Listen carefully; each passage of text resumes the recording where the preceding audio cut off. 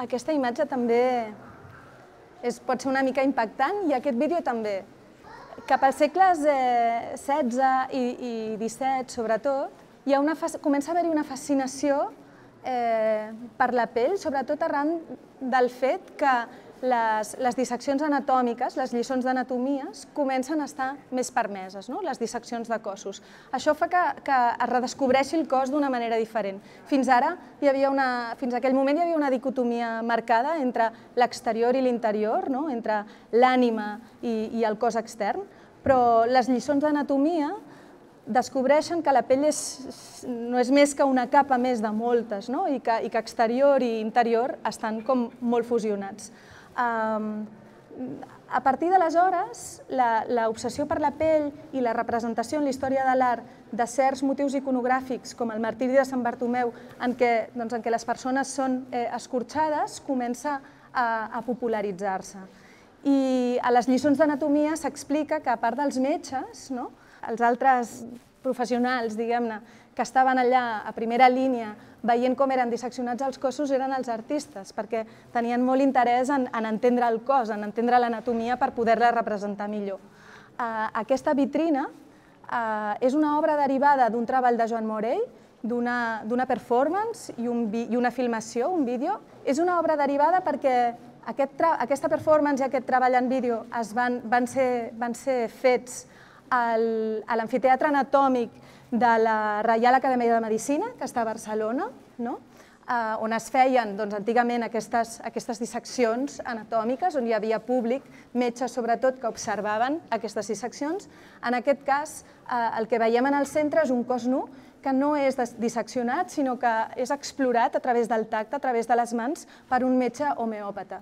I en el vídeo, que potser alguns de vosaltres heu vist, eh, hi ha moltes, diguem-ne, com postures, no? com, com eh, maneres del metge de tocar aquest cos que estan inspirades, de fet, en, en, en obres d'art, en quadres sobretot doncs, de, del Renaixement i el Barroc. I no, no hi ha en aquest cas espectadors, no hi ha, el públic es, no hi ha ningú, però sí que el que hi ha són càmeres, és a dir, algú que opera amb una càmera manual i va gravant, i per tant també hi ha aquesta contraposició entre uns moviments de la càmera doncs, que, que indiquen eh, el moviment humà, no?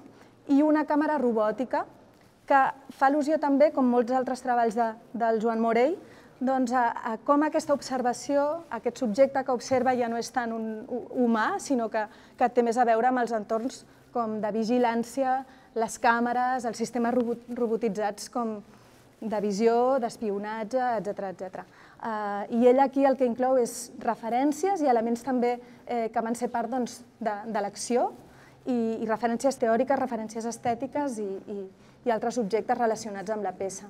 I és interessant també com molt, estan molt il·luminades i les podem veure perfectament, però la vitrina ens les fa eh, inaccessibles al tacte. I això és quelcom també que està molt present en l'exposició, és a dir, hi ha la paradoxa de que estem parlant del tacte i de les mans a través d'obres d'art que no podem tocar. Eh, el museu és eh, l'art i, el, i els museus s'han convertit doncs, en, el, en, el, en el reialme de, del privilegi de la vista no? i de l'apropament i el coneixement a través de la visió, però, però no sempre ha estat així, de fet.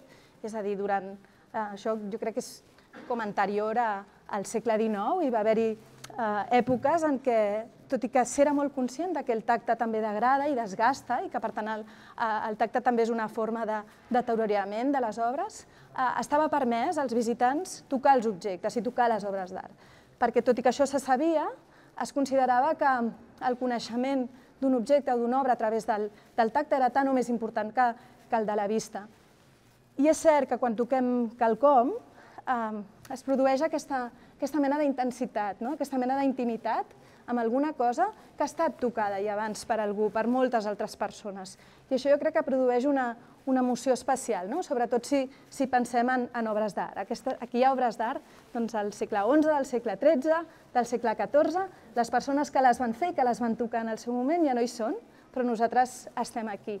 I a vegades doncs, tocar doncs, un vestit que, no sé, que, que, és de, que va ser de la teva àvia o eh, un objecte que va ser d'algú que estimaves, jo crec que és també una, una manera com quasi il·lusòria de, de superar aquestes distàncies doncs, de, de la vida i l'amor. No? És com estar en contacte a través d'una superfície amb algú altre que ja no hi és, però que també ha tocat allò mateix.